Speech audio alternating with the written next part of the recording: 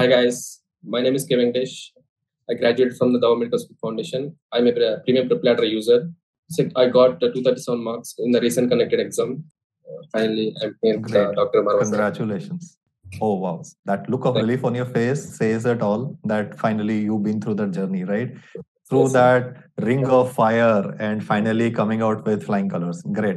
So, Doc, uh, please share with me. Uh, the first question to you is uh, I mean, what were your feelings when you walked into the examination hall? And how were you feeling when you came out of the examination hall? And don't talk about that I was relieved because everybody is relieved after the exam. But then, you know, you must have experienced, I mean, uh, we want to know your experience of paper one, paper two, uh, the butterflies in the stomach, and how did you adapt to all that?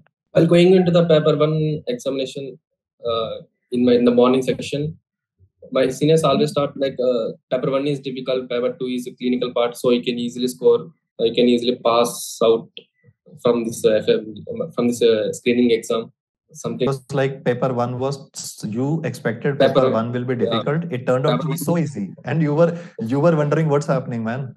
Yes. Uh, after finishing the paper one, so I got uh, relieved because my uh, what always seniors uh, taught uh, taught me that uh, the paper one is uh, difficult, paper two is easy. So this time paper one is easy. So may, might be paper two also become easy. So I can get easily crack the exam this time. So it's and also it's my first attempt. So after entering into the second part, I didn't expected that pattern of questions because it's all everything they change the clinical pattern.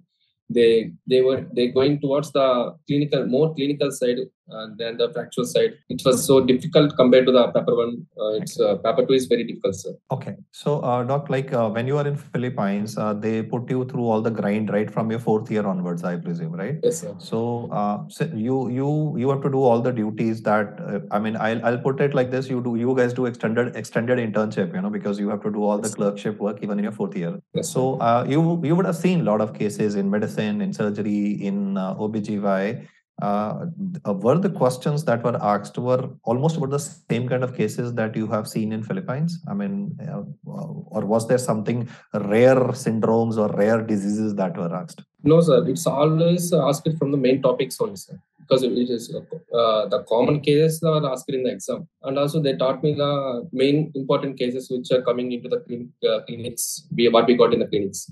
So they taught me how to manage the patient, how to uh, I mean, the point is you were able to uh, see that whatever they taught you in medical school, that was useful in the main exam as well.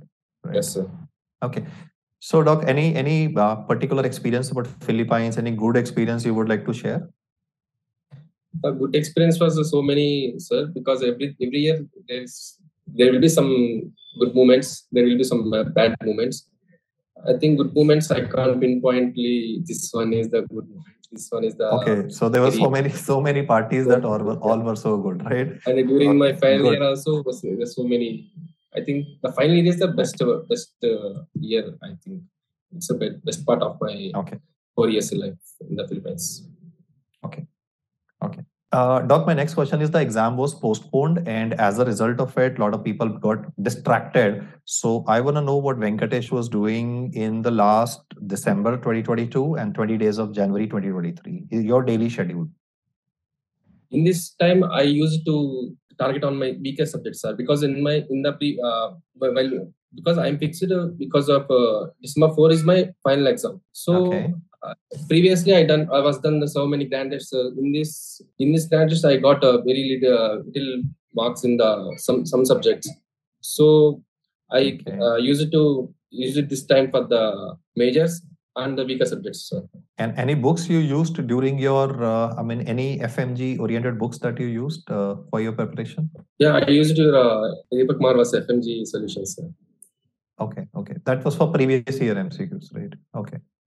Yes, sir. Fine, doc. So, uh, I mean, uh, uh, the book was pretty voluminous. I would say 1500 pages. So, it, it would have yes, taken, sir. I mean, how many readings did you give to the book? I think I nearly two to, I think two times, sir.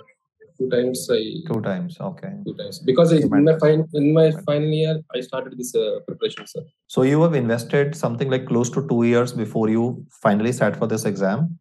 Yes, right? sir. So you had completed the course once while you were in Philippines. Slash, I mean, you know, online couple of online classes were also conducted, and then uh, subsequently you you were able to you know attempt the exam with much more confidence. Uh, okay, doc. In the end, any dedications you would like to make? Yes, sir. I thankful to my to the PrepLadder team and my parents and my friends and my college DMSF also very helpful to achieve this success.